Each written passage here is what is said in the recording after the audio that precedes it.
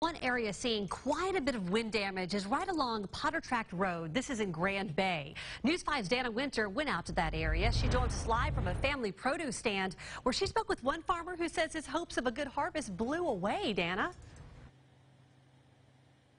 That's right, Devin. The family produce stand, the Sessions Farm, has been here for several years. Each fall, its shelves are lined with pecans grown just down the road. But damage from Tropical Storm Gordon is leaving more of these pecans ruined on the ground than on the table. Just a constant roar for about, for about two hours. We had a pretty good blow.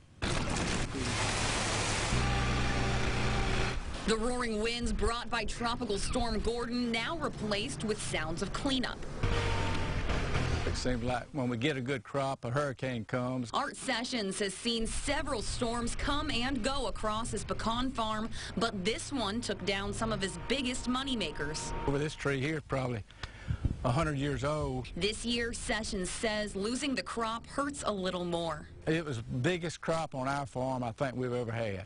While there are still trees standing, Sessions says the storm still could have hurt the nuts. When they get beat, beat up and bruised up, you know, we're not sure about the quality at all. He says whatever nuts they do get off the trees this year will be salvaged.